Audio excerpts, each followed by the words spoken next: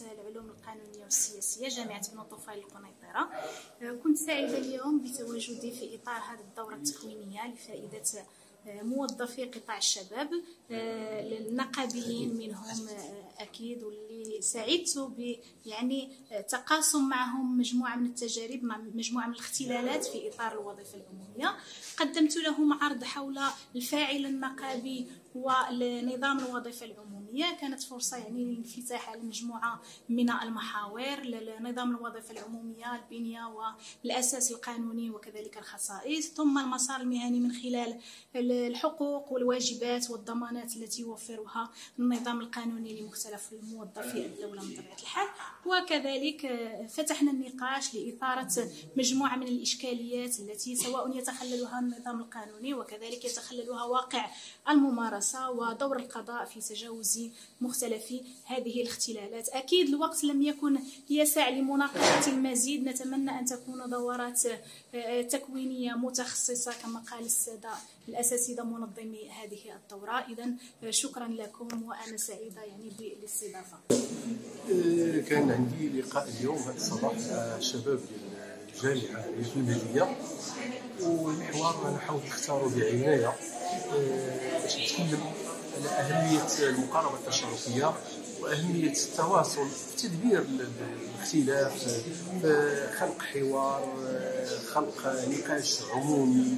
بالتالي هذا الشيء كاليات من الاليات اللي هي كدير تنزيل الديمقراطيه لأننا ما يمكنش لنا نلقاو غير الثقافة ديال الاستماع في المجتمع باقي نظام المركز مهمين ان الناس كيفكروا في بلاصتنا في المكان ديالنا. كذلك ما كاينش جهوية ما تمش التنزيل ديالها ما تمش تنزيل واحد العدد ديال الأشياء اللي جات في الدستور 2011 وهذا الشيء هذا كيعيق واحد المجموعة من البرامج كما قلت من قبل تنمويه في المغرب. المغرب دابا الآن يبدع على مستوى البرامج الملك كذلك يبدع. يعني كاينة دابا الآن اوراش كاينة مبادره البشرية كاين واحد المجموعة من المبادرات لفائدة الشباب. ولكن إلا كنا كنشتغلوا بهذه العقلية وهذه المقاربة وكنشتغلوا بعدم تنزيل المضمون ديال الدستور وعدم تنزيل الجهوية من الأشياء. يعني ما كنستطيعوش أننا نحققوا النتائج المرجوة في المجتمع. وهذا هو اللي كيخلينا الآن كنبذلوا مجهود كبير. كاينة نفقات مالية واغلبه مالية كبيرة ولكن النتائج ما كنلمسهاش المواطن في الواقع اليومي. شكرا سعيد جدا أنني شاركت اليوم في هذه الدورة التكوينية التي اقامتها أكاديمية التكوين السوسيو النقابي دورة المرحوم عبد الرزاق أفلال والتي كانت دورة تكوينية رائعة جدا شارك فيها العديد من الأساتذة وساهموا بعروض متنوعة وكانت مشاركتي تتمحور حول الممارسة العملية في الدفاع عن حقوق الأجراء أمام المحاكم وقدمنا فيها مسائل عملية تتعلق بمساطر متنوعة سواء في تقديم دعوى لمطالبة حقوق الأجراء أمام المحاكم للمطالبة بحقوقهم وبينا بعض الحالات التي يستعصي فيها الأجير الإثبات وإقامة الدليل في دعواه يلتجئ إلى القضاء الاستئجاري وتقديم مقالات مختلفة وكيفية ممارسة الحصول على الحقوق وبينا كذلك كيفية سلوك مسطرة حوادث الشغل في حالة تعرض العامل لحادثة شغل والأساليب التي عليه أن يسلك أمام المحكمة بما فيها تقديم المقال ممارسة مسطرة الصلح إجراء الخبرة إنجاز الشواهد الطبية وفي أخير المطاف أن يقدم بواسطة الدفاع المستنتجات بعد الخبرة وكيفية الحصول على الحكم وكيفية التبليغ. وفي آخر المطاف أوضحنا كيفية سلوك مسطرة التنفيذ وتم اختتام هذه الدورة التكوينية بآخر مداخلة لي وشكرا.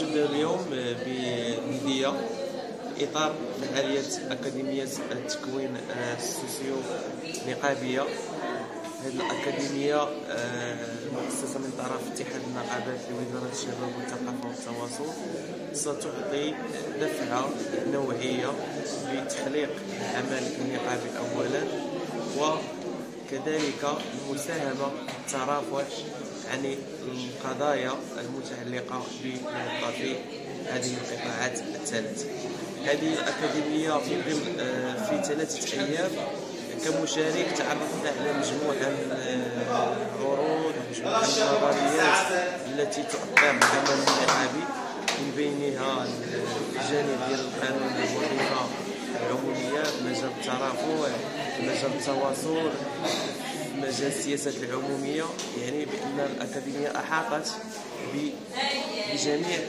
المعطيات وجميع المواضيع التي تهم العمل النقابي. وصراحة هذه الدورة كانت آه، تحت شعار فعل نقابي سياسي متجدد ودورة المرحوم عبد الرزاق الهلال آه، مؤسس الاتحاد العام للشغالين بالمغرب. صراحة آه، بأن اتحاد النقابات لم ينسى التكريم وثقافة الاعتراف والامتنان وهي ثقافة أصيلة في الاتحاد العام للشغالين بالمغرب بأن لن ينسوا الناس الذين ضحوا كثيرا من أجل إعلاق كلمة الحق والمساهمة في تخليق العمل النقابي وطنيا. وشكرا.